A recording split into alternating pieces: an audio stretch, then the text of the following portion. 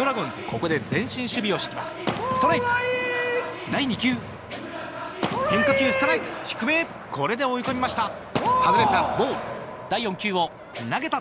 ボール。次が5球目。見逃しの三振。さあピンチで迎えるバッターは青木。ドラゴンズここは外野フライも避けたい場面です。第1球投げた。カットボール見送ってストライク。打ちました。三塁ランナーホームに突っ込む。二塁フォースアウト。アウト！ダブルプレースリーアウトチェンジ！岡野ノーアウト満塁の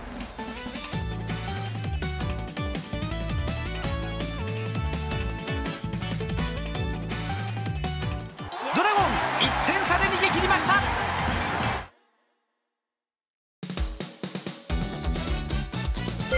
お見事！